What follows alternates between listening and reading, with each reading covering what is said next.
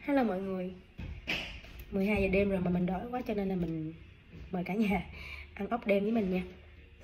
Cái này là ốc bulot Con này sao nó to dữ vậy ta? Siêu to khổng lồ luôn mọi người. Bự quá bự luôn. Ốc bulot này mua cũng khó lắm á. Mình đi kiếm hết cái chợ khu mình ở luôn. Mà không có ai bán hết trơn á. Ừ, chỉ, chỉ đi tới đúng mấy cái chỗ mà vừa hải sản lớn á. Ừ, mới có mới có cái con ốc bulot này. Quá trời bự luôn ui ui ngập họng luôn mọi người. Siêu to khổng lồ mình sẽ chấm với nước chấm hải sản nha mua hoặc nổi nữa. Ừ, ừ. quá bự. Con ốc này đó dì giòn dì dai. Ngon lắm.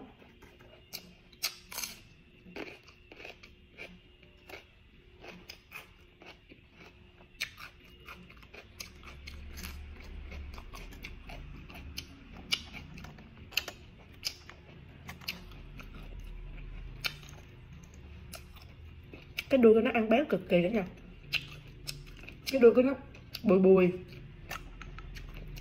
Ăn giống như cái gan gà á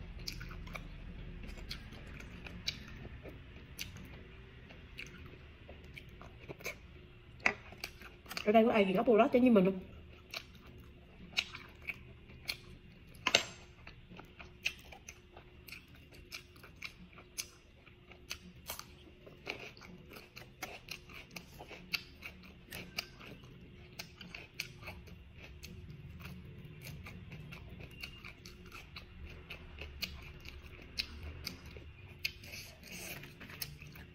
bữa nay tôi ăn tôi mặc đồ ngủ đó. mặc đồ ngủ là mọi người hiểu rồi chuẩn bị đi ngủ. Mà thèm thèm bắt nhân vậy đó. Ăn cay đã ghê mọi người.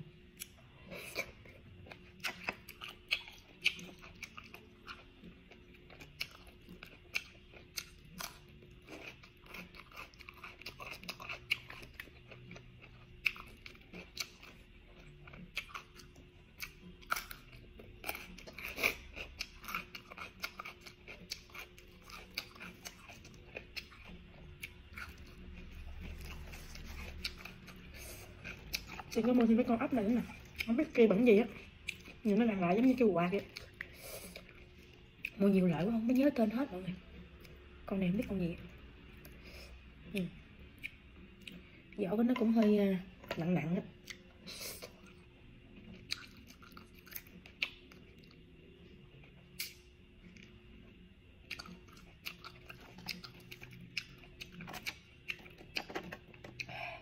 Công nhận cái con ốc bù lót này nó quá bự nó bự siêu to khổng lồ. Bự dữ kìa. Ừ, ừ cái đuôi của nè.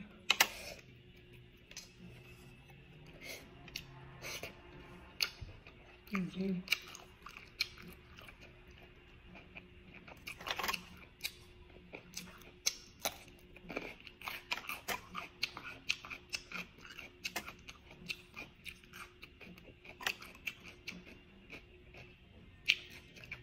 Ừ.